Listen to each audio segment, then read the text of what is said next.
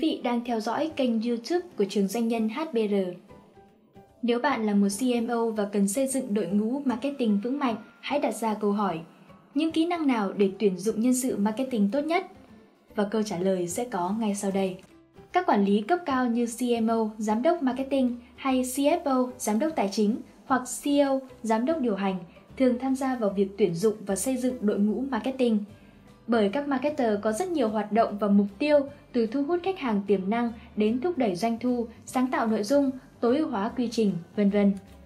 Các công việc marketing rất đa dạng và đòi hỏi các kỹ năng nhất định để hoàn thành. Khi ngành công nghiệp martech bùng nổ, các kỹ năng cần thiết để vượt trội một tổ chức marketing hiện đại đang liên tục thay đổi và yêu cầu cao hơn nữa. Do đó, việc tuyển dụng nhân sự và xây dựng đội ngũ marketing ngày càng trở nên khó hơn. Tình hình tổng quan về ngành marketing thay đổi nhanh chóng đến nỗi cả các trường đại học, các cơ sở đào tạo marketing cũng khó mà có thể theo kịp. Do vậy, là một CMO, bạn sẽ không thể ép một ai đó mới ra trường hiểu biết về các phần mềm tự động marketing và các hoạt động marketing ngay được. Và đây chính là 5 kỹ năng hàng đầu mà một CMO cần tìm kiếm để tuyển dụng nhân sự và xây dựng một đội ngũ marketing tốt nhất. Điều đầu tiên đó là tuyển dụng nhân sự ở vị trí chuyên viên marketing, những người có khả năng bao quát nhiều lĩnh vực. Một vài năm về trước, việc tuyển dụng một marketer có nghĩa là thuê chuyên gia, nghĩa là một ai đó tập trung vào một vai trò và có thể làm vai trò đó thực sự tốt. Ví dụ có thể là content marketing, social media, SEO, vân vân. Dù các lĩnh vực chuyên môn này vẫn cần người chuyên gia, nhưng hãy tuyển những marketer vừa là chuyên gia và có khả năng bao quát được nhiều lĩnh vực nữa. Bởi chu trình bán hàng, đặc biệt là B2B là khá phức tạp, bạn cần các marketer có thể chuyển từ chức năng chuyên môn này sang chuyên môn khác khi cần thiết một cách trôi chảy. Khả năng này cần thiết để đơn giản hóa việc thực hiện tổng thể và nhất quán trên tất cả các dự án. Ví dụ, bạn có thể tuyển một content marketing full time, nhưng các thành viên khác trong nhóm của bạn có thể dễ dàng tham gia sáng tạo nội dung khi cần. Mọi người trong nhóm của tôi đều biết rõ chức năng của các thành viên khác trong nhóm, Điều này cho phép họ thực hiện một chiến dịch đầu đến cuối liên tục và không có nhiều ma sát. Cá nhân tôi cũng sống theo quy luật này và có thể làm bất cứ điều gì từ việc viết một bài đăng trên blog để đưa tay áo của tôi lên để xây dựng luồng nuôi dưỡng chính trong nền tảng tự động tiếp thị của chúng tôi. Điều thứ hai trong tuyển dụng nhân sự là các marketer có định hướng dữ liệu và tư duy tốt với các con số. Khi marketing tiếp tục phát triển, bạn sẽ phải ngạc nhiên bởi mức độ thường xuyên phải sử dụng và phân tích số liệu và dữ liệu. Các marketer hiện đại có thể phải xây dựng các mô hình dự báo doanh thu hoặc đưa ra các quyết định được thúc đẩy bởi dữ liệu và phân tích.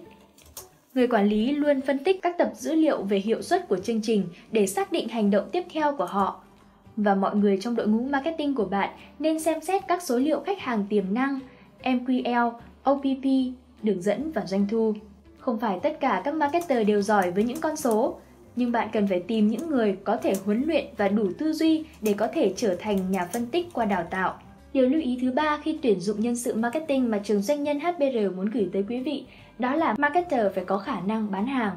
Nhóm marketing của bạn phải hiểu biết sản phẩm rõ hơn hầu hết mọi người khác trong tổ chức. Nhóm marketing cũng nên hiểu và tạo lập nên các personal, điều gì khiến họ mua hàng và trải nghiệm của mỗi người trong phễu bán hàng. Marketer với vai trò cụ thể sẽ có thể tham gia vào cuộc gọi bán hàng, chăm sóc khách hàng hoặc thực hiện demo gian hàng triển lãm. Nên đào tạo đội ngũ marketing bán hàng để họ tìm hiểu các phương pháp cơ bản. Không phải mọi phần của khóa đào tạo đó đều có thể hữu dụng 100% cho họ. Nhưng điều quan trọng là họ hiểu quy trình và cách nói chuyện với khách hàng tiềm năng nếu tình huống yêu cầu. Lý do khác đó là để đội ngũ marketing có thể hiểu được doanh số bán hàng, từ đó có thể nắm bắt quá trình bán hàng ở mức độ sâu hơn. Nếu chúng được tích hợp nhiều với những gì diễn ra trong chu kỳ bán hàng, marketer có thể nhắm mục tiêu tốt hơn các khách hàng tiềm năng ở giai đoạn cuối cùng với thông điệp và vị trí phù hợp.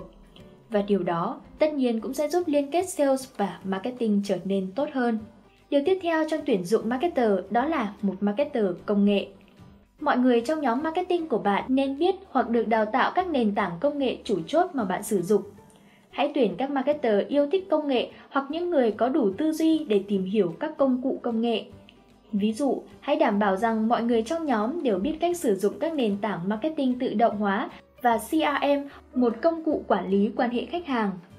Các nhà quản lý sự kiện, nội dung và mạng xã hội có thể tạo ra các mẫu chương trình của riêng họ trong nền tảng marketing tự động – và sau đó có thể tham gia CRM để quản lý chiến dịch và báo cáo. Và để có thể xây dựng một đội ngũ marketing tốt và chuyên nghiệp nhất thì trong việc tuyển dụng nhân sự marketer phải có xu hướng thiên về hành động. Là một marketer, đặc biệt là một công ty trong giai đoạn phát triển, bạn cần phải đưa ra quyết định nhanh chóng bởi có rất nhiều sáng kiến đang diễn ra và có tính nhạy cảm về thời gian. Nên nhóm marketing của bạn cần luôn hướng đến hành động. Từ email, phương tiện truyền thông xã hội, nội dung, vân vân. Nhóm marketing của bạn phải cần có khả năng bắt kịp và phản hồi nhanh tới các xu hướng với những thay đổi trong sản phẩm hoặc thông báo từ những công ty khác. Vừa rồi là những kỹ năng cần thiết để có thể tuyển dụng nhân sự và xây dựng đội ngũ marketing hoàn hảo. Hy vọng rằng nó sẽ giúp ích cho quý vị và các bạn trong quá trình quản trị và tuyển dụng nhân sự. Còn bây giờ, cảm ơn quý vị và các bạn đã chú ý theo dõi. Xin kính chào tạm biệt và hẹn gặp lại ở những video tiếp theo.